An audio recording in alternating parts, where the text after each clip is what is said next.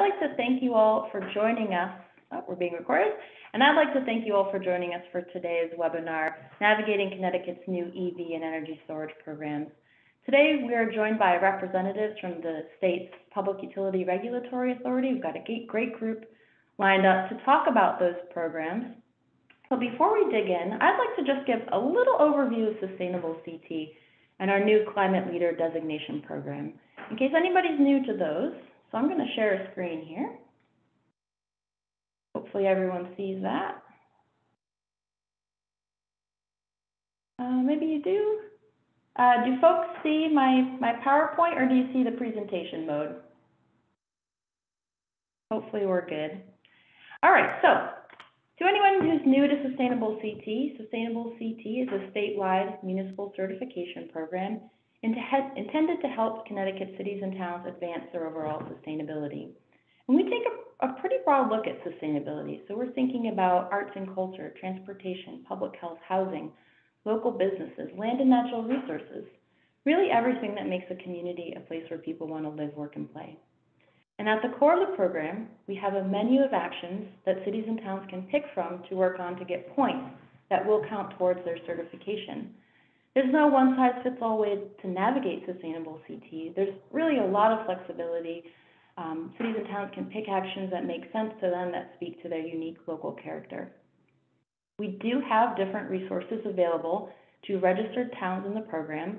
Things like this, an informational webinar where we're going to share uh, information about a really cool program for cities and towns and others. We have a community match fund. We have different technical supports where communities can work with consultants at no cost to do certain actions. We do want to help you along the way. And cities and towns participating in Sustainable CT define what success looks like in the program. Perhaps you want to attain one of our two levels of certification. Perhaps you'd like to be considered a climate leader. Perhaps you'd just like to work on a couple actions every year and advance your sustainability and, and reap those benefits from those actions. And that's fine too. We're in, we're in it with you, um, and we're here to help. I mentioned we take a very broad look at sustainability, and you can see here our 12 different action categories. We've got 68 actions and hundreds of sub-actions that fall within these 12 different categories. You can see local economies, land and natural resources, materials management, health and wellness, and so on. Each action is essentially a sustainability best practice, and we lay out all the steps that your community would take to achieve that action, things you would need to submit to us, as well as different resources that are available. For those that are in the program, these steps will look quite recognizable, and if your community is not in Sustainable CT yet, you can join at any time. We currently have 129 of the state's 169 towns in Sustainable CT, and we're so excited about that. Um, for communities to join, they pass a resolution, they get a group of people together to work on their application or to work on actions. Uh, again, you define success, and then you, you work to achieve whatever success looks like for you.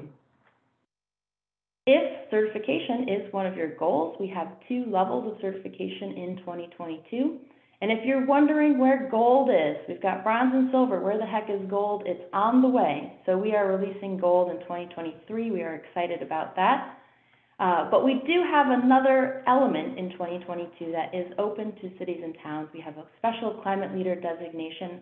We are piloting this designation this year. We will learn a lot from you, with you. And if you have comments and feedback, whether you're working through the climate leader designation or not, we would love to hear from you. And we'll put an email address in the chat where you can send your feedback. But essentially, what the climate leader designation does is it's recognizing cities and towns that are taking great strides, strides to reduce their greenhouse gas emissions. So what we've done is identify high impact actions that are existing within the Sustainable CT framework. Towns can work and pick from those actions. So again, lots of flexibility. Score 140 points within those actions, and you are a climate leader. So that's what we're piloting in 2022. We are excited about that. And again, we're going to learn a lot from and with you as you move through this. This climate leader designation is voluntary and it would be on top of being a bronze or silver uh, certified community. And that's, you know, we can get into any of those details in, in the Q&A session at the end of this um, presentation if you do have questions. But again, we're interested in your feedback. You would email info at sustainablect.org if you have thoughts on the climate leader designation. And I will say we are focusing on mitigation right now. So we are focusing on reducing greenhouse gas emissions, reducing your carbon pollution. We recognize that resilience is a paramount of paramount importance. Uh, we need to do more work to build more resilience-related actions into the Sustainable CT framework. So if you have thoughts on what those actions could be, please send them along. So right now we're focusing on carbon pollution, and here are the list of actions down to the sub-action that are open to towns who are interested in the climate leader designation. Of course, you can work on any actions in the program. These are the ones, though, you score 140 points within this block, and you would be considered a climate leader in 2022. As part of the climate leader designation rollout, we have a webinar series that we've been running throughout the year. We've had two sessions. This is our third. We're really excited about it. And we have a suite of uh, webinars coming up. And I just want to highlight them because they're pretty exciting. So on Earth Day, we have representatives from Project Drawdown speaking at our coffee hour. So register if you're interested. This should be really interesting and exciting and will ground us in the why. Why is this important right now? Why do we need to work on the climate emergency at this moment? Um, on May 5th, we're going to be joined by the Connecticut Green Bank to talk about the CPACE program. May 17th, we have representatives from the Department of Energy and Environmental Protection talking about resources open to towns to manage woodlands and urban forests. On June 14th, we have other people from DEEP talking about tracking solid waste generation in their community. And we also have someone from the town of Mansfield who's going to be really grounding us and why that is important. So registration links are available on this URL that you see here, and we'll also put recording. So if you're interested and you miss it, the recording will be available.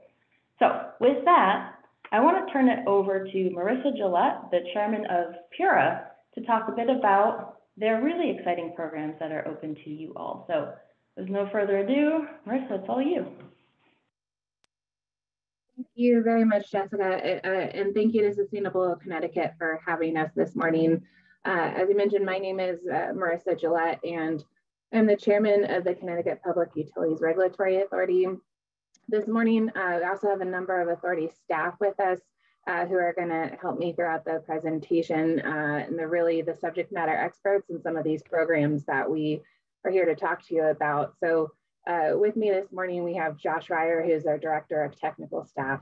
We have uh, Stephanie Cohane, who is a supervisor in his office uh, focused on clean and affordable energy. And we also have two members of our uh, legislative and communication staff with us this morning, Taryn O'Connor and uh, Joe Cooper. So between the five of us, we look forward to uh, discussing these programs with you. Uh, if we can't get to all your questions this morning, um, we also provided contact information here, as well as a copy of the slides, uh, because the, the slides, as you'll see throughout, have a number of hyperlinked resources that we hope uh, that you have the opportunity to rely on in the future. Uh, so uh, I'm going to kick off this presentation this morning. Uh, we uh, want to focus on two programs in particular, uh, but before we get to that, I do want to um, kind of ground us in uh, the Equitable Modern Grid Initiative that the authority initiated a little over two years ago. because that initiative has borne out these two programs that we're here to talk to you about, and it also hopefully will preview uh, some additional programs coming down the pike that we hope that you uh, keep an eye out for. Um, uh, finally, we'll close by uh, sharing some of the other initiatives that PURA is working on, as well as addressing how you could engage directly with PURA uh, in the future if you want to affect how some of these program designs um, are ultimately made and adopted. So to start, I want to take us back to October of 2019, which was a few months after uh, I took the position uh, at PURA. Um, the governor had recruited me from Maryland, where I had worked at a similar agency. Um, every state has their own version of PURA. They're often called public service commissions or public utility commissions, but they generally all, we generally all have the same, uh, you know, subject matter um, jurisdiction. Uh, we typically regulate electric, gas, water utilities that are investor owned. So in the state of Connecticut, we're talking about Eversource, United Illuminating, um, their gas affiliates, and uh, some of the big water companies like Aquarion and Connecticut Water. So when he brought me here to the state, uh, he had asked that I focus especially on modernizing the electric grid. Connecticut has really ambitious, um, really laudable, uh, you know, greenhouse gas reduction goals, and we spend a lot of time focused on uh, how we can green our energy supply, which is incredibly important. But the piece that's less frequently discussed is how do we ensure that the distribution grid, so the poles and wires that you see outside of your window, how do we make sure that the distribution grid is reliable enough uh, to deliver this green energy? Um, because as we increasingly uh, encourage folks to electrify, whether it's their transportation or their heating and cooling, um, as we increasingly rely on the electric grid, we need to make sure that that grid, which is hundreds of years old in some cases, we need to make sure that it is ready to uh, accept um, all this ambitious uh, policy uh, from greening the supply. So in October of 2019, what we did was we announced our framework for how Pura was going to focus on modernizing the electric grid to make sure that we could um, deliver on the state's goals. And uh, what it did was uh, we, we launched this initiative focused on four specific objectives. Um, the objectives that you see on the screen, these are things that we have pulled from legislation uh, or from um, guidance that the, that the governor has handed down through executive orders. And uh, they may seem intuitive, especially to folks that are familiar with this space, um, but if you are, if you've ever interacted with a utility commission before, be it in Connecticut or another jurisdiction, uh, you find that looking at uh, initiatives and projects and, and proceedings through the lens of these objectives is not uh, a common way for a utility commission to approach things. So we wanted to level set with our stakeholders, which include utilities, um, uh, Consumer Counsel, others like uh, DEEP, we wanted to level set and make sure that everyone is on the same page that as we embarked on this initiative, uh, the four objectives shown on the screen had to be front and center in terms of designing any programs that came out of this. Uh, so um, those have uh, found a common home and, and, framework in our program designs. Uh, whenever there is a conflict between a program design element we find ourselves returning to these objectives to make sure that, uh, that the design is furthering as many of these as possible. So you may think, okay, well, what do you mean by grid mod? Um, and uh, the reality of the situation is there could be hundreds, if not thousands of different ways that we could approach the need to modernize our grid. And uh, in what we did was we carved out 11 uh, topics to start with. Um, the first six that you're seeing on the screen here were our first wave of dockets. Uh, everything that PURA does is through what's called a docket. Um, a, we're a quasi-judicial agency, much like akin to the operations of a judiciary. So when we undertake an investigation, it is through a docketed proceeding. And the first six that we undertook um, are shown here on the screen, uh, which is why we've made more progress on these six than the others I'm about to show you the two that we're here to talk to you about today are storage and uh, light duty uh, zero emission vehicles. So I'm gonna um, uh, leave those to Stephanie and Josh. Uh, but the others that you see on the screen um, include AMI, which are things like smart meters, uh, ways that will facilitate the grid, um, uh, interconnecting distributed energy resources like solar, um, and making sure that customers have the, the granular data in their hands that they need to make educated decisions about uh, their energy usage. Um, just yesterday, we announced the launch of our innovation pilots uh, docket. Uh, this would be something that we'd be happy to come talk to you about at another time. Uh, if you're familiar at all with the concept of a regulatory sandbox, uh, it's essentially an opportunity for uh, third parties to either come in on their own or in partnership with a utility to propose an innovative solution to solving uh, a grid need. And, uh, you know, the, the, energy industry is not exactly known for its innovation. So we have put a specific focus on making sure um, that we are opening up uh, those opportunities. And uh, last on the screen, we see interconnection standards.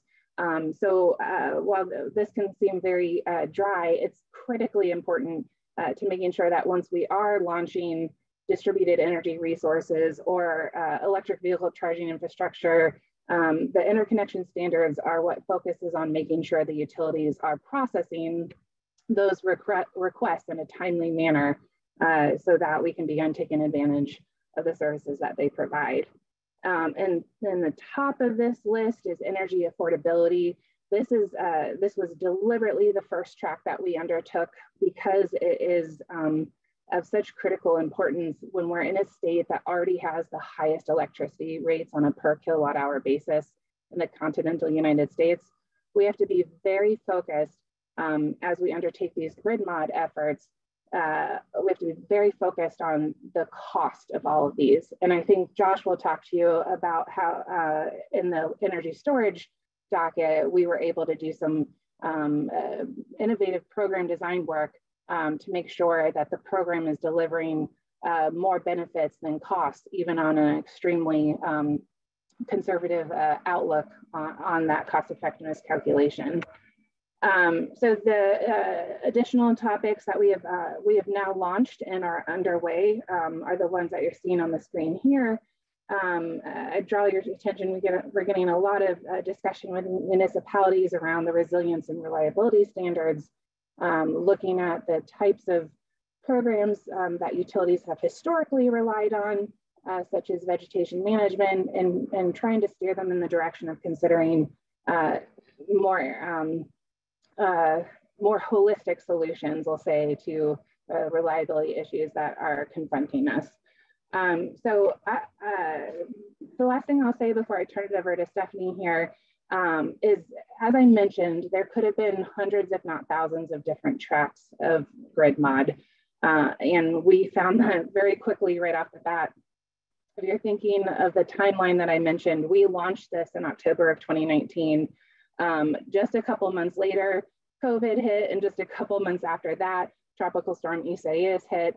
Um, so what we found um, was that as we were launching uh, some of these other uh, investigations into the utilities storm response, or how we were directing the utilities to work with their customers during COVID, um, what we've been, the, the bottom line is we've been finding through those um, either surprise investigations or um, planned investigations like the new tariff designs the legislature asked us to adopt. What we've been able to do through uh, the Equitable Modern Grid proceeding is make sure that the objectives we set out there, as well as the programs that we have launched, uh, are launched in a, uh, and designed in a way um, that complement all the other work that we're doing. Uh, and again, that sounds very intuitive, um, but I think, you know, as we took a step back and we're looking at the progress Connecticut has made to date in its energy sector, one of the things that we struggled with is we've got like really great policies, um, but they're they're a little bit piecemeal and don't always um, work together in, in a way that um, furthers the objectives of the state. So uh, there are a couple concrete examples of that we can talk about, um, such as making sure that uh, that the rules around um, siting solar on your roof allow you to account for the possibility that your house is going to electrify and add electric vehicle chargers, for example. So um, we can get into those examples. And right now, I'm um, really happy to turn this over to Stephanie Cohane, who's going to talk about the light duty electric vehicle charging program. Um, and uh, then we will uh, move over to Josh Ryer to talk about our electric storage program. Stephanie? Good morning, everyone. Thanks for uh, uh, having us. It's great to see that there's interest in um, what Pura is doing and hopefully uh, interest in um, taking advantage of some of these programs that we're going to cover this morning. So again, my name is Stephanie Cohen. I lead the Clean Affordable Energy group here at Pura, um, and I'm going to talk through the EV charging program um, that we established last summer. So next slide, please. Great, thanks. So the EV charging program is a statewide program. It provides incentives for electric vehicle supply equipment, which is a technical term. We also kind of refer to it as EVSE, or basically the charging infrastructure, and accompanying rate design offerings for program participants. We launched this as a nine-year program beginning January 1st of this year.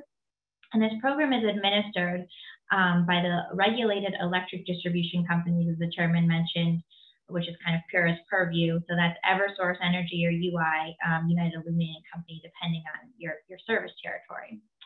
And the program offers incentives to support EV charging across essentially five different kind of market segments, which I'll uh, kind of talk through at a high level here. So just the, what are those market segments or how do we think about um, this program and designing um, program offerings? We have kind of residential single family uh, on one side, as well as participants from multi-unit dwellings. Um, there's a kind of a segment for workplace and light duty fleet level two or um, public charge, uh, public direct current fast charging or DCFC. That also has kind of its, its own uh, category, as well as public level two destination chargers, which you may have in your communities or um, see out and about. Um, notably, just wanted to mention this program is focused on supporting charging um, infrastructure for light duty fleet electrification, so Pura is also examining strategies to optimize integration of medium and heavy duty electric vehicles in a separate docket, and that is including looking at um, uh, electric transit and school buses. Next slide, please. So before we really get into kind of the details of program implementation and participation, I thought it might be useful to just quickly cover the program objectives that Pura established with input from stakeholders specifically for this electric vehicle charging program.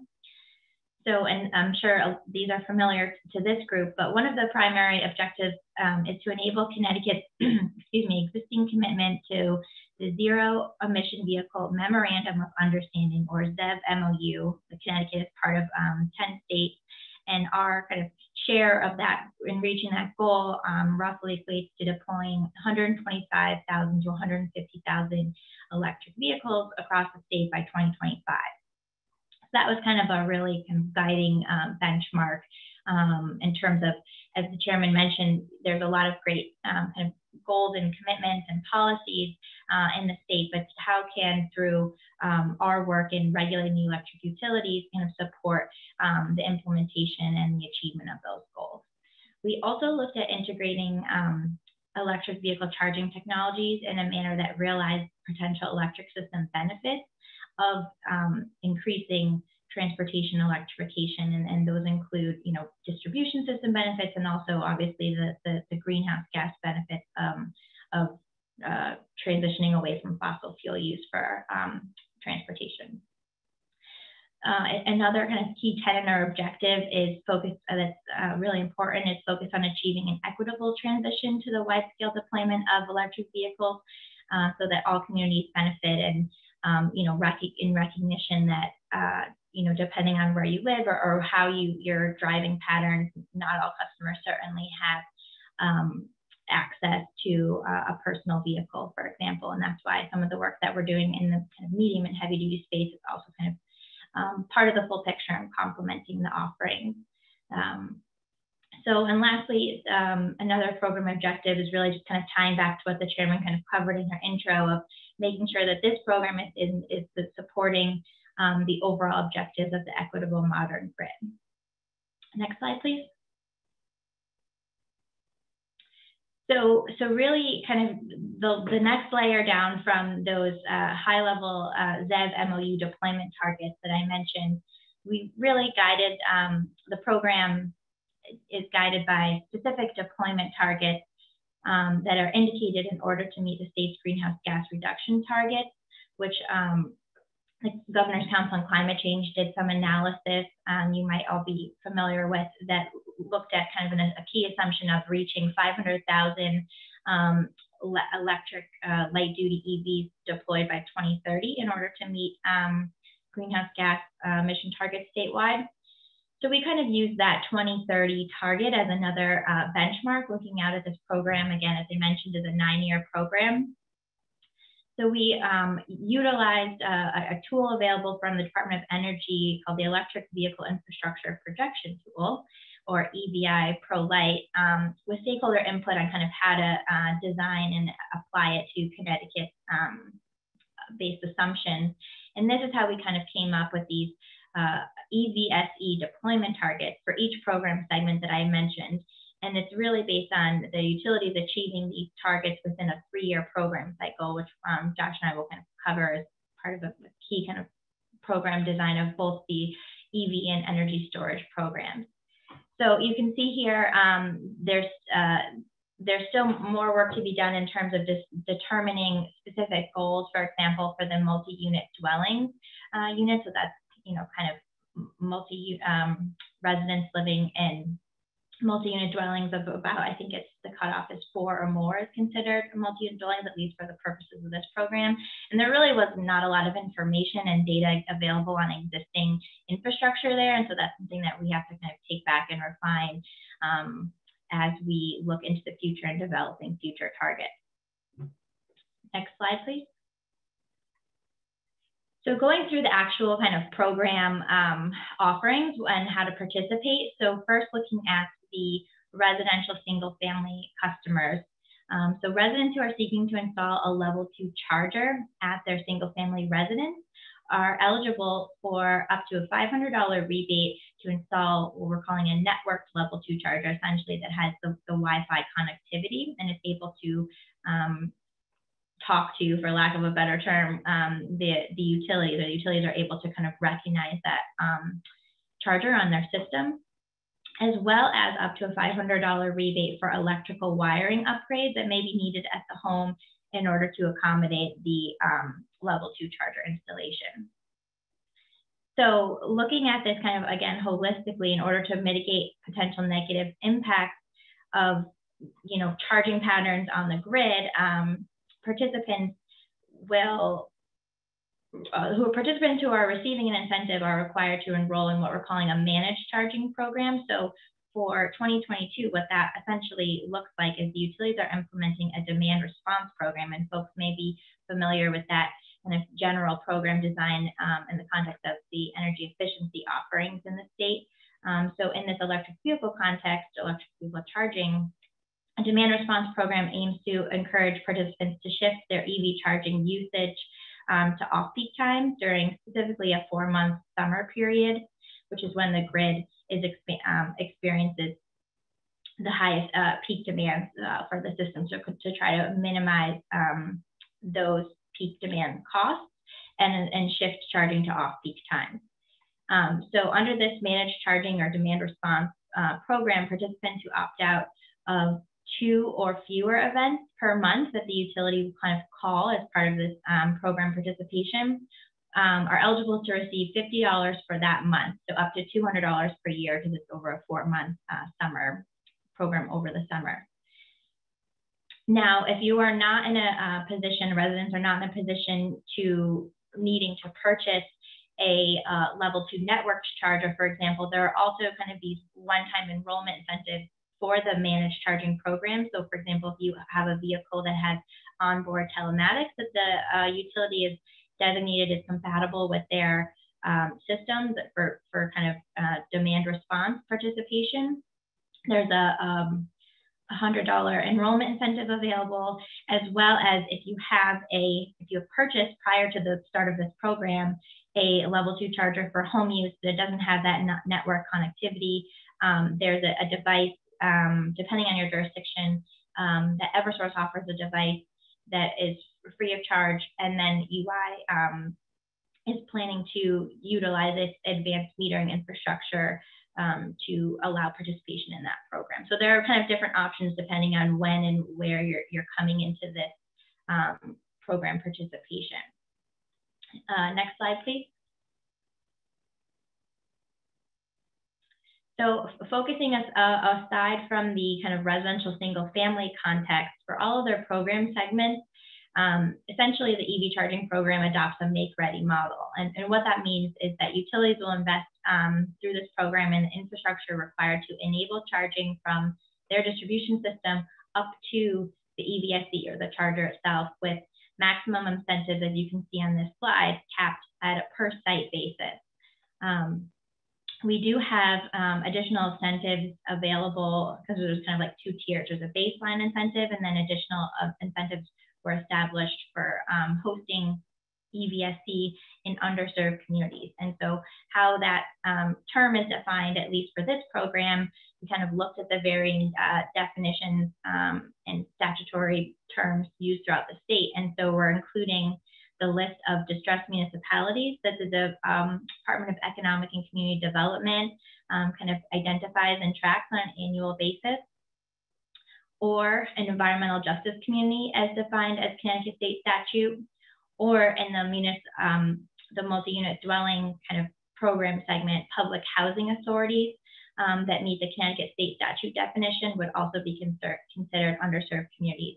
Um, and there's a link on the um, uh, PURA EV charging program website to, to a, a, deep kind of page actually that has a, a, nice map kind of shows you where all these um, communities are across the state, which might be uh, useful in terms of planning.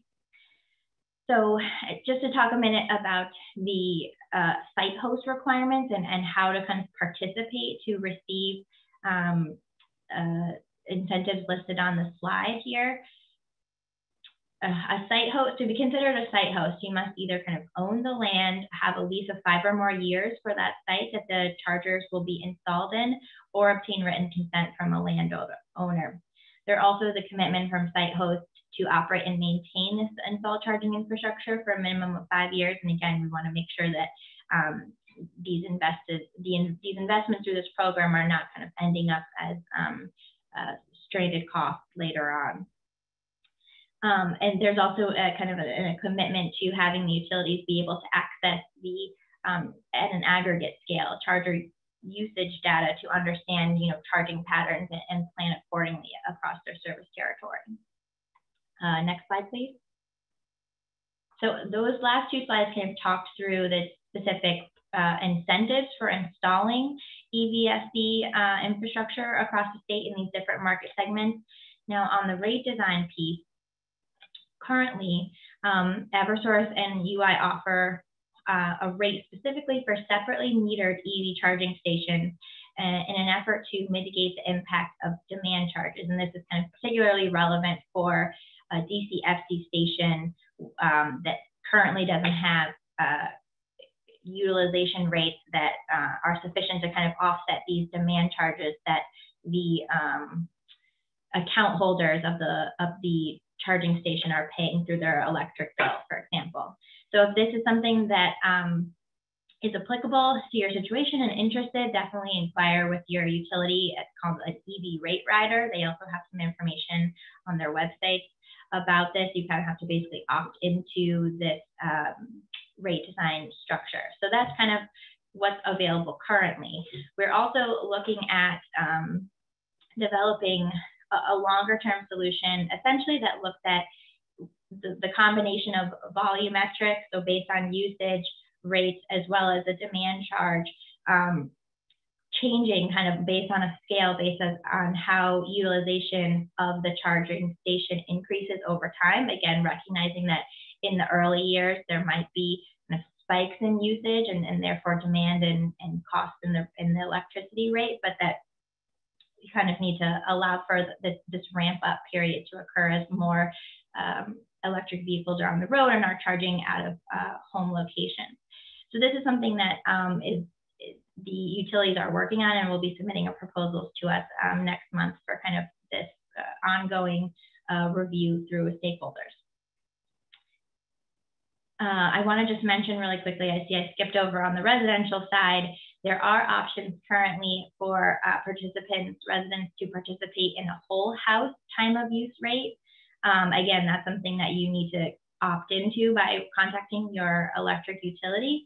Um, and that could be beneficial if you are planning to charge uh, an electric vehicle at home again on those off-peak designated times. Um, next slide, please. Okay, so I alluded to this earlier, but essentially the a program review process. So um, kind of how we got here, as I, I mentioned, we had a, through the Equitable Modern Grid Initiative, an initial docket that established the program parameters and design of this EV charging program that um, uh, came to a conclusion uh, last summer when the authority issued a uh, decision directing utilities to implement this program. But there also are many um, kind of opportunities for uh, continuous feedback and improvement built in. So we have what's called an annual review cycle. Uh, we had that first annual review cycle last year. The docket number that you can see is up here, 210806, and we're gearing up to start our actual next um, annual review, which would be for the, this first year, um, which I'll talk about. I think it's on the next slide. So there's kind of those annual opportunities to, for the utilities or other stakeholders to identify to PURA adjustments that may need to be made uh, to the program. But then we've also built in, as this is a nine-year program, and obviously recognizing that, especially in the um, electric vehicle technology advancements uh, kind of considerations, things are changing and improving, and we need to make sure that the program is adaptable to that. So these three-year program review cycles, so the next one or the first one would be in 2024, kind of looks at the program um, more holistically, ensuring you know ratepayer value is being met as well as adherence to the program objectives I mentioned before. Um, in line with the chairman's kind of uh, plug for participation in, in, our public processes, there are um, opportunities for um, members of the public, any other stakeholders to participate in both of these um, processes. Next slide. So yeah, this one, so this talks a little bit more about if you're interested in participating, the kind of opportunities here. So as part of the uh, uh, some uh, PURA's order last summer, we directed Eversource and UI to reconvene what's called a managed charging working group. They are working with um, other state agencies, the industry, um, and others to kind of develop and refine that managed charging component I mentioned before. And so they have reconvened those conversations earlier this year. If you're interested in participating, definitely reach out to um, uh, the utilities. that have their contact information on the next slide. But that also this program review uh, period I, I, mentioned, we're starting up, and, and this year we'll specifically look at these um, any recommendations from the working group to revise managed charging program requirements in future years, um, as well as a proposed uh, tariff for DCFCs and level two light duty fleet. Again, that kind of longer term solution that I uh, was talking about, as well as a proposed EV only tariff offering for multi unit dwellings. We recognize through the course of the program there's this really difficult um, split incentive uh, issue that there is, you know, it's not unique to electric vehicles, but between the tenants and, and um, landlords, oftentimes in terms of barriers in participating in some of the, whether it's energy efficiency or in this case, electric vehicle charging infrastructure.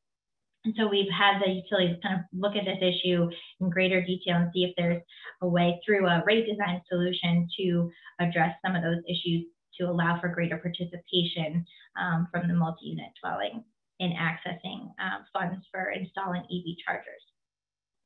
Uh, I think that, oh, there's one more bullet here. Okay, so utility leasing program. Yeah, so those two kind of address, uh, aim to address this, uh, this issue of ensuring that multi-unit dwellings are participating uh, in these uh, program offerings that we have available. Next slide, please.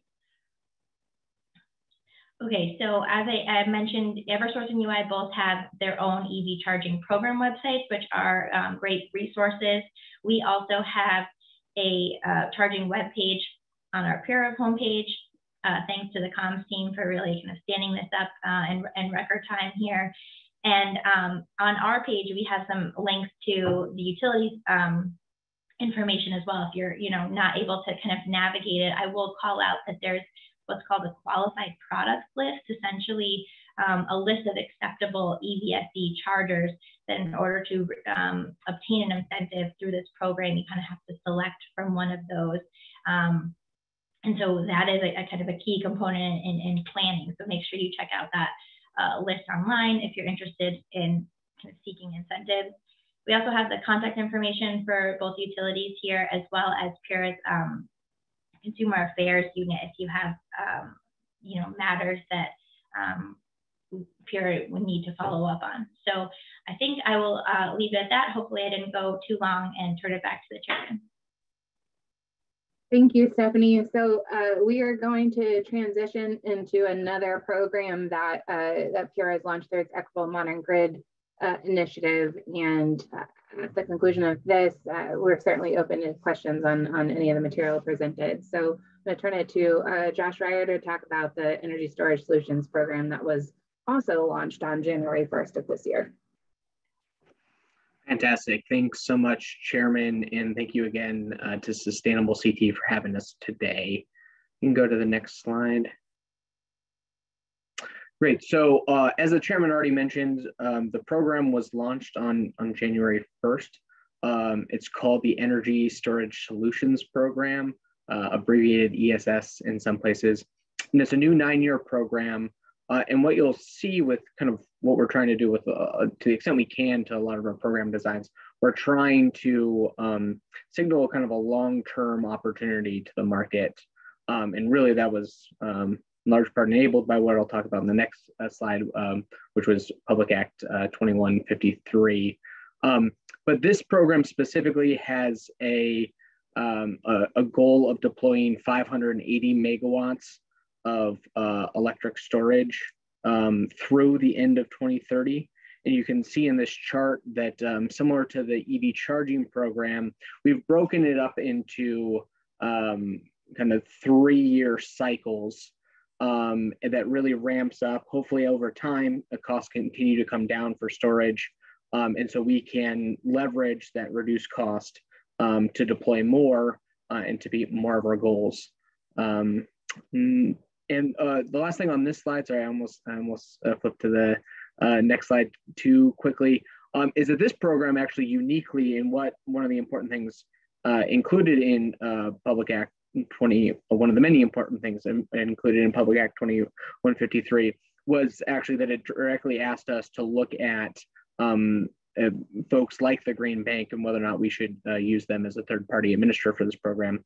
So the Green Bank actually um, will be the administrator of this program along with the electric utility companies that we, um, we regulate as has been mentioned a couple times already. Um, but really the Green Bank um, is kind of the one that that's housing the, the program design and, and kind of where the program is going through for at least initial applications. We're talking about kind of how, how to navigate the programs today. Uh, next slide. Great. So I've already uh, at least twice uh, mentioned Public Act uh, 2153. Uh, it set a, a, deployment target for Connecticut of a thousand megawatts of energy storage by 2031 or the end of 2030, however you want to say that. Um, section two, there's, uh, if, um, if, I'm not mistaken, there's three sections in that Public Act. Um, the first one sets the goal. The second section actually authorized PURA um, to do something like the Energy Storage Solutions Program. Um, and so what was really important to us, when if you think back to the last slide, I said this program is designed to hit at least 580 megawatts of, um, of storage deployment by, uh, by 2031.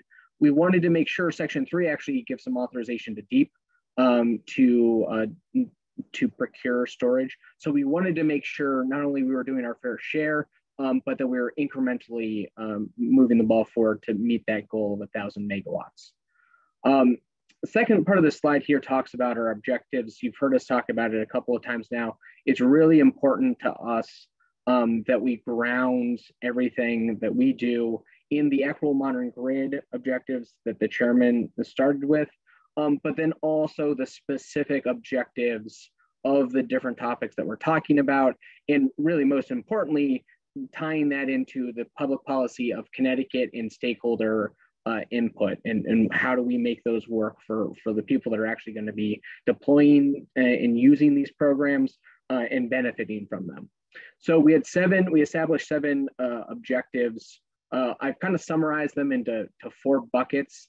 Uh, one of our main objectives always is the the economic regulator of the public utilities is to look at rates and cost effectiveness. So our, you know, the first one listed here is cost effectiveness for all ratepayers. And I will talk about that a little bit more at, at the end. Uh, and then, but the second one was also, I mean, we already, uh, the chairman already mentioned Tropical Storm Isaias earlier is really the ability for storage, especially uh, paired with solar, to provide customers with resilience during outages. Um, we're going to see that more and more, unfortunately, um, with extreme weather events. So, so obviously, we've heard from um, stakeholders across the, the state that this is really an important objective right now.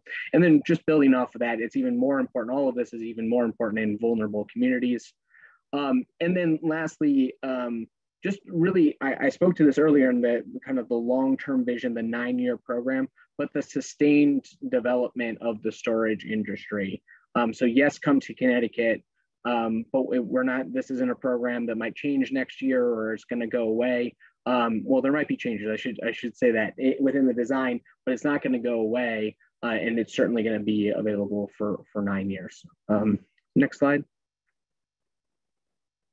Great. So there's there's two real um, components to this program uh, in the form of incentive payments or, or however you want to phrase it. Um, so the first is an upfront incentive. Uh, and we heard from not only the storage industry, but um, uh, advocates uh, that it's really important to have both uh, an upfront incentive and a performance incentive. That upfront incentive helps with kind of the financing of the system, the business model of the developers, um, in overcoming some of the, the deployment barriers. And that performance incentive, uh, and, and, Stephanie talked about this in the context of the EV uh, charging program, it helps make sure that we're maximizing the value of the storage system to the grid and to ratepayers. So I'll talk first about the upfront incentives for residential customers, and then I'll talk about it for non-residential customers or commercial industrial customers. So there's an upfront uh, incentive.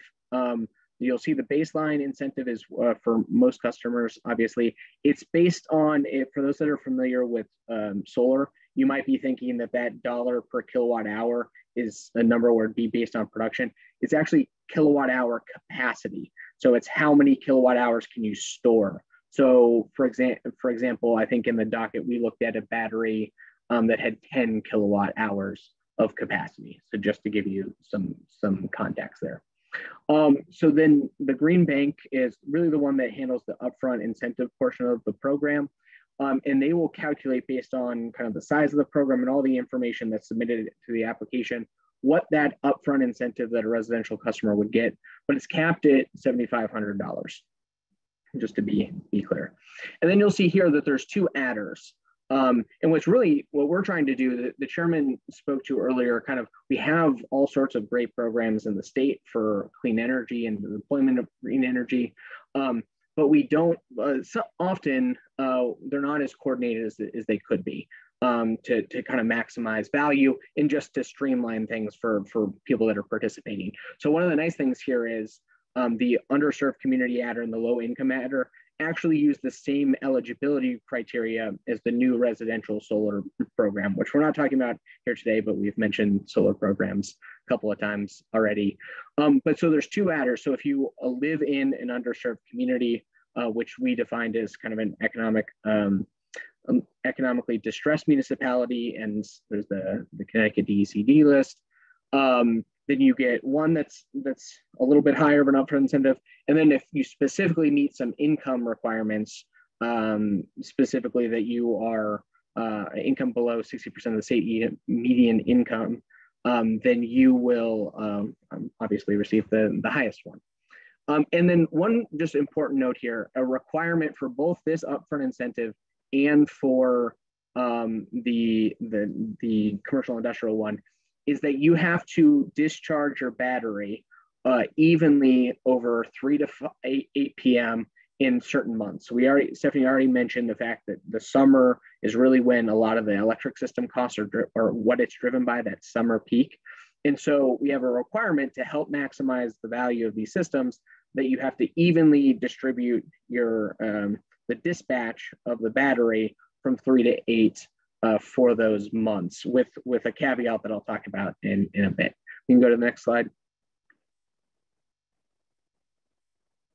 Great, so uh, not a lot different here with uh, commercial and industrial customers, uh, except for the incentive level, instead of being based on uh, whether or not you uh, are eligible for one of those adders that I talked about, is actually based on the size of the customer, and the incentive gets smaller based on the the larger the customer. Um, and then there is a project cap, but it's only at 50% of the total project cap. So there wasn't a nominal uh, project cap. And as I said, there's a there's this passive, it's called a passive dispatch um, setting or requirement from three to eight in those key months. Next slide.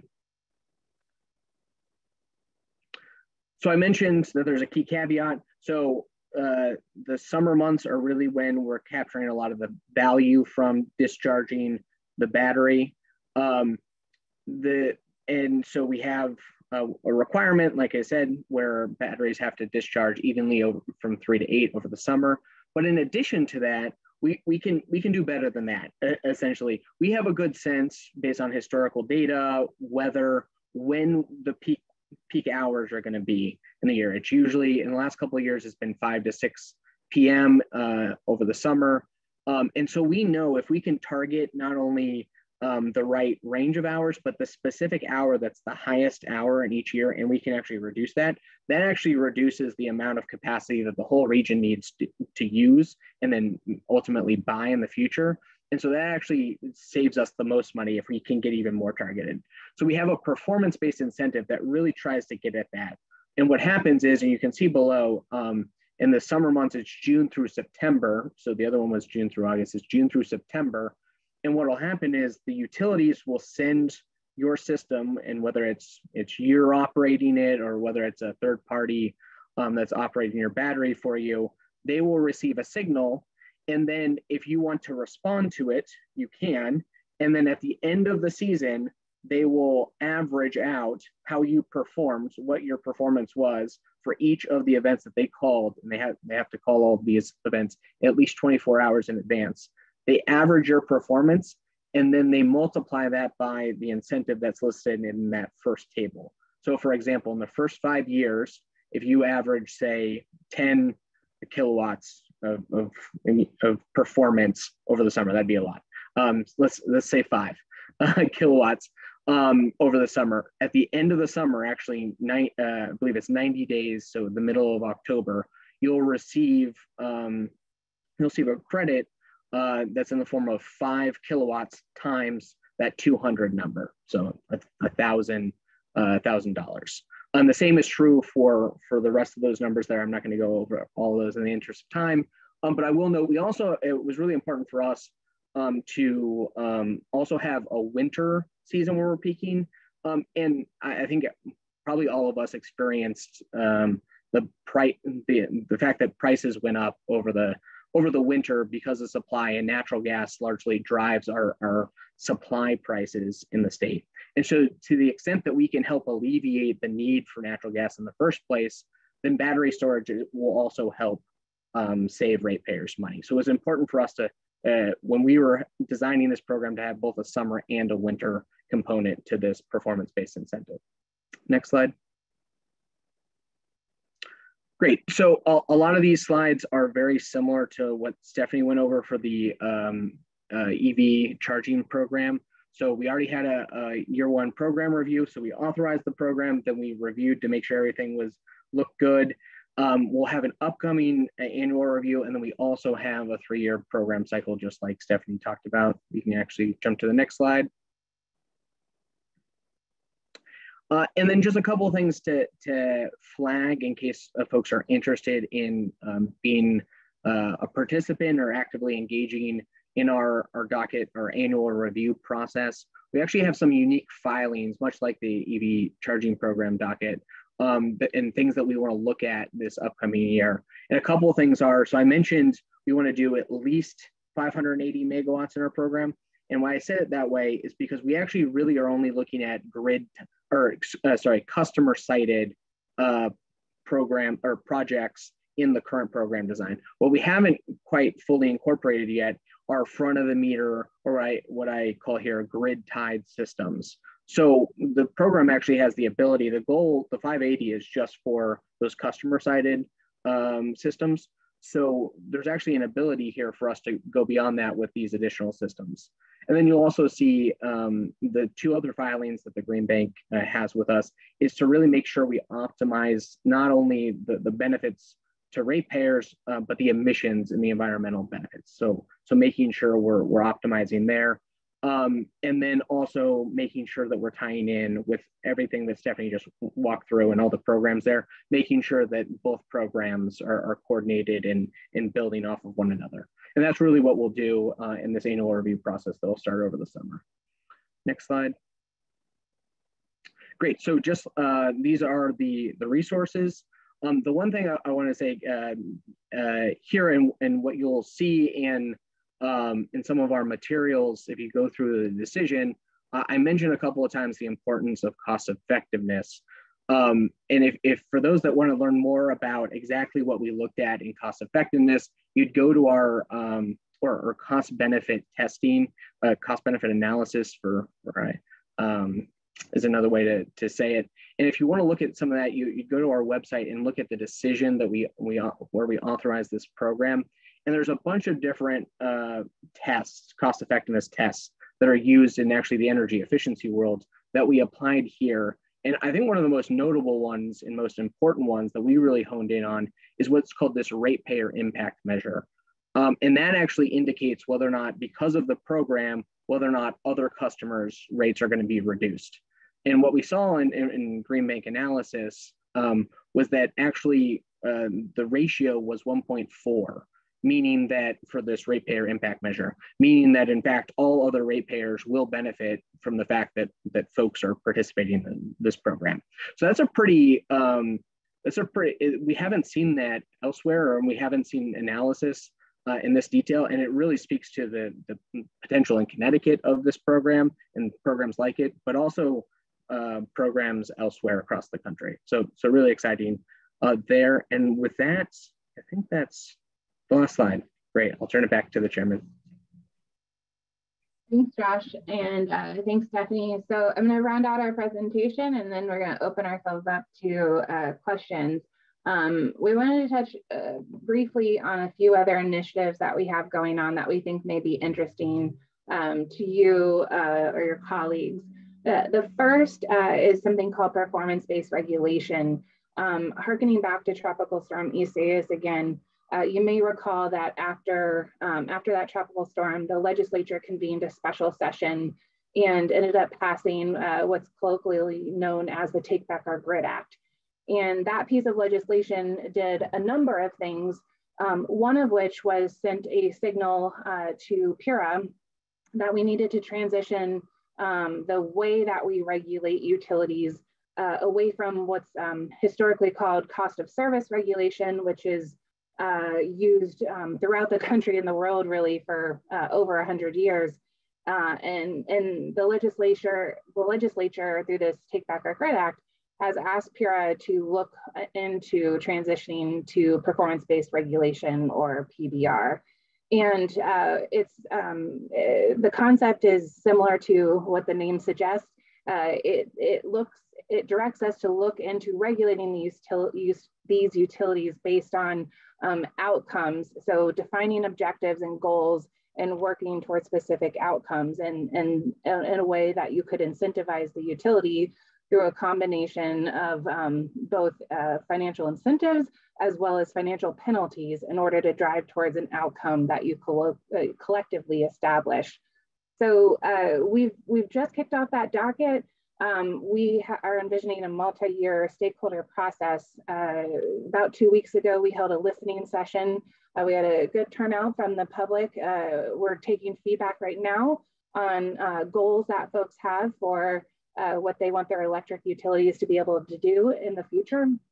Um, and we have a stakeholder workshop coming up. So if you know that your municipality or that you individually uh, have a specific objective um, or an outcome that you want to see from this proceeding, uh, that uh, we would welcome your feedback. Uh, we also wanted to uh, highlight the number of clean energy programs that, uh, that we've collectively alluded to during this presentation. Um, they each in their own right deserve, deserve a webinar and we've done um, some, we've put together some materials and recorded some videos uh, which are available through our website. Um, but uh, the first the first bullet on the screen refers to um, one of our other grid mod uh, tracks, specifically the one, it was the, the ninth track focused on looking at all of the distributed energy resource policies that we have in the state uh, and uh, taking the first step of um, compiling all of that progress and data into a centralized uh, a location um, that will be published on an annual basis so that we can evaluate you know, our progress towards achieving these goals. So we, uh, we recently issued the first report in that docket um, summarizing uh, data up through calendar year 2021. Uh, so that, that is hyperlinked here if you're curious to know um, how the state has done and performing on its uh, you know, uh, programs of the past, like virtual net metering, LREC, ZREC, things of that nature. The reason I'm referring to those programs um, in the past tense is because if you weren't aware, the legislature directed PURA to establish um, successor programs uh, to virtual net metering, LREC, ZREC, and then on the residential side, um, RCIP. So PURA did complete that exercise. We have, uh, we have established those new programs. Um, they launched on January 1, so there was no interruption of service. Uh, and like I mentioned, there's a lot to unpack in, in both of those programs. So we have provided links to our website that has uh, material to share there.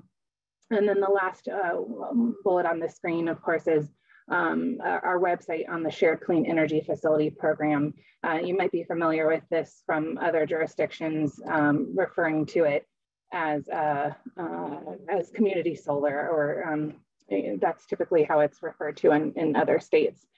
So uh, we have those links there. I, I, think to the extent that uh, folks want to ask questions about those, we're, we're happy to entertain them. Um, uh, but um, finally, uh, and then again, welcome questions here. We just wanted to provide a little context for how you can engage with us moving forward. Uh, and if you're interested in learning more on this topic, um, we can refer you to uh, YouTube videos that we've recorded as well um, on uh, PURA 101 or how to engage with PURA.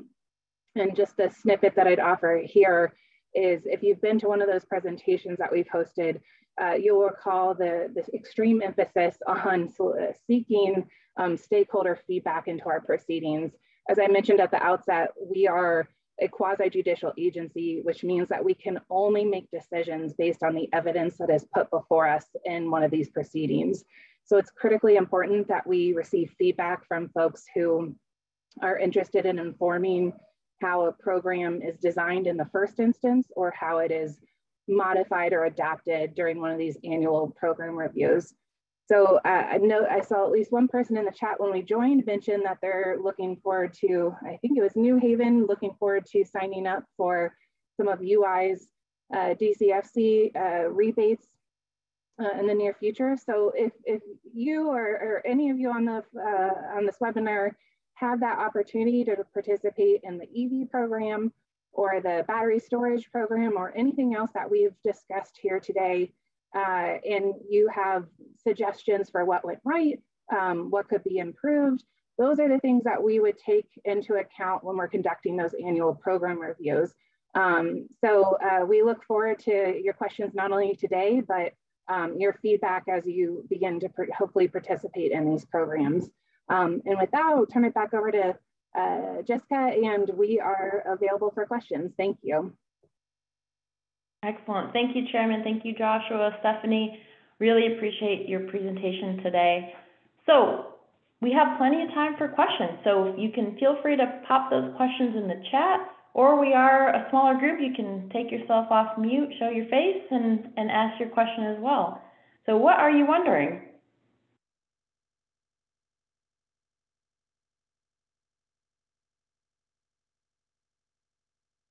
Insert Jeopardy music here. it was a very comprehensive program, so it's possible there aren't any questions, but this is your time. You have uh, the PURA representatives, a captive audience.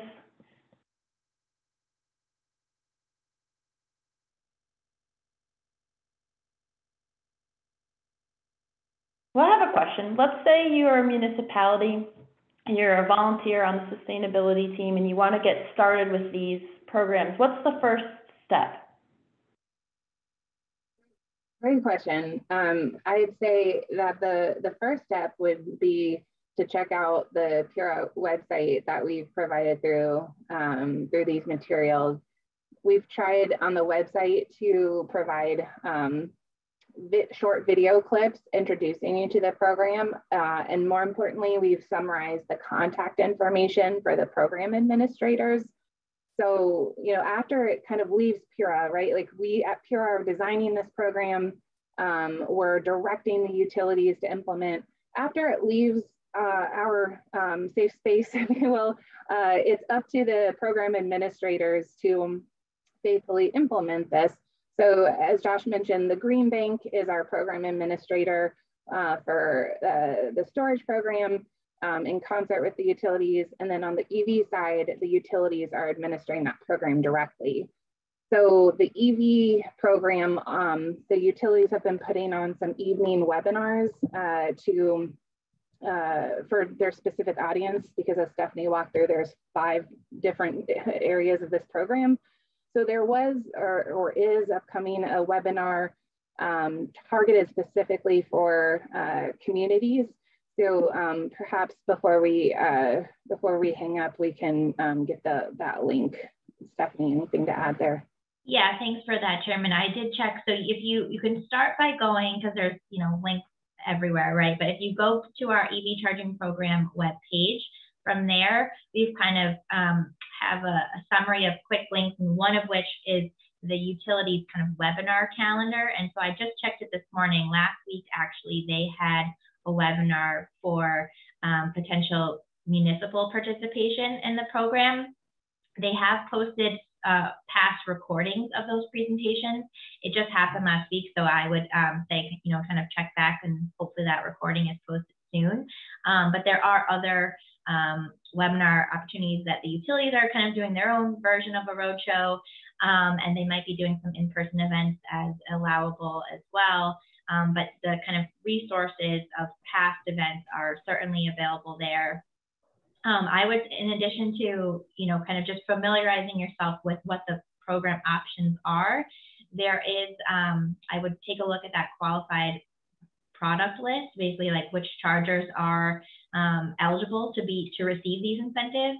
Um, certainly, there depending on the situation, there might be you know interest in, in a municipality serving as a site host. Another potential avenue is um, working with a third party uh, vendor, like of a electric vehicle charging infrastructure. I know there's some um, direct kind of uh, involvement or, or um, participation from that side that might be of interest if there isn't that kind of um, appetite, if you will, for kind of serving as a site host um, as, a, as a municipality. But that kind of opportunity for partnerships, that is definitely, if that's something of interest, I would say reach out to the utility um, who can help kind of provide some of those connections. And then take a look at the application um, too. That's available on the website just, you know, before you kind of get to the place where you're um, applying for the program incentives, you want to kind of just make sure that everything um, goes through and, and, is kind of compatible with the, the program requirements. So. And just to add one, one last thing, step 1B maybe is um, is really, especially with the storage program, is you're going to need to to find a trusted contractor that can walk you through it. Um, and with the storage programs, especially with residential customers, it's going to be important to understand how much of your load you can actually, so whether it's, you know, your refrigerator and your washer or just your refrigerator, that a battery store, that a battery will be able to back up during a power outage. So finding a contractor that you're comfortable with that understands the program is going to be really important.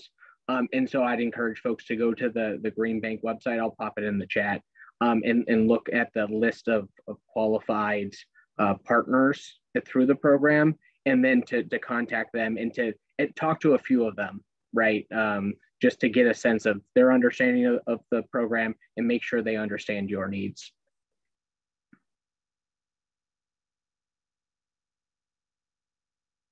Thank you all. Questions from the audience? Anything coming to mind?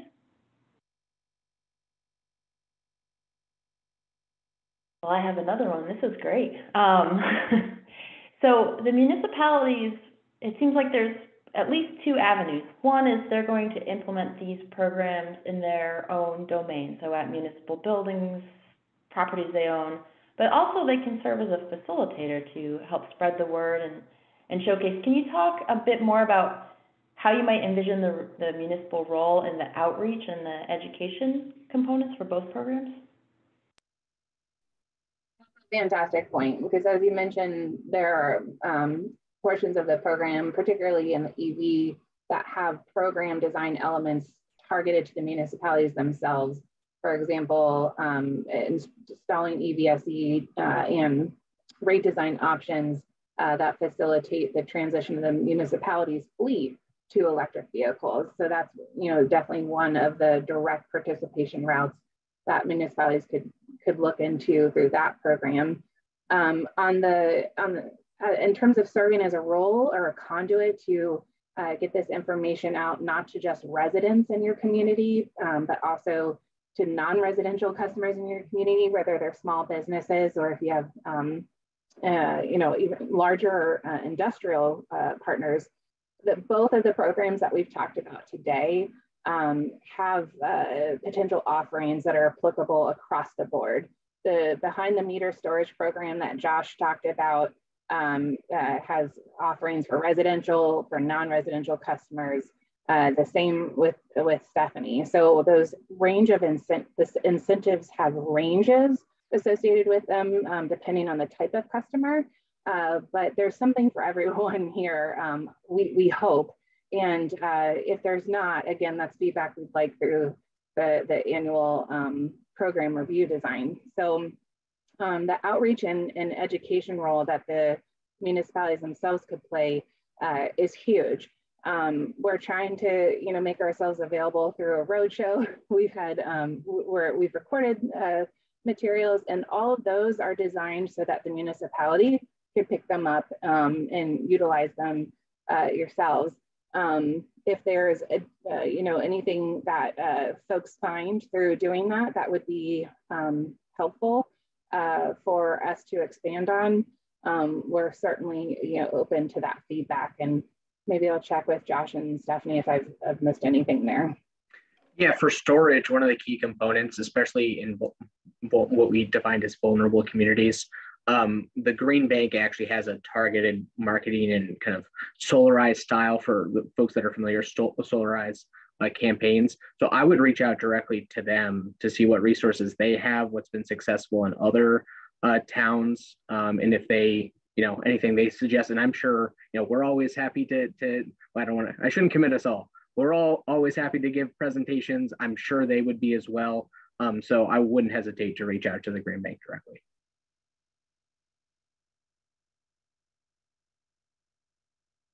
Thank you. Last call for questions from the audience. Anything coming to mind? All right, well, I want to thank our friends at PURA for spending so much time with us this morning. You've been so generous with, uh, with your time and expertise.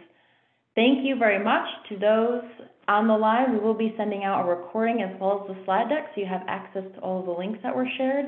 And if you do have questions, um, comments, feedback for PURA, please reach out.